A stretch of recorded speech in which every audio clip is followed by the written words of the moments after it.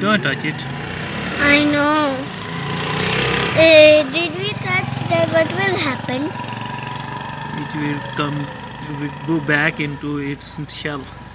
I'll. She is going in her shell because of the rain. No. No? I see in the picture. She's not. She's already outside. No, don't touch it. Mm अब मैंने तो हाथ लगाया अंदर